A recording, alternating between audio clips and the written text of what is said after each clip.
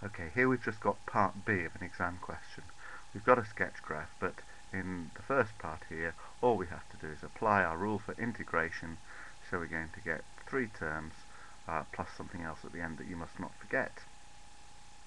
Uh, just use your rule from chapter 7 for integration.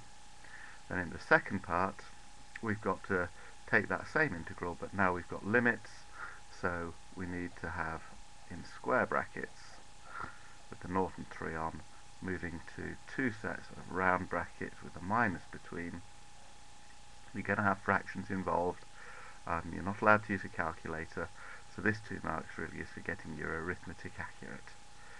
And then in the third one, uh, we've got to find the area of this shaded bit. Now, the integral you've just done with those limits does represent a certain area on the diagram, to find the shaded, shaded area, you're going to have to subtract involving the integral you've just done and the area of a triangle there, whose base you know, and whose height you also know. So subtraction of two areas to get the last three marks.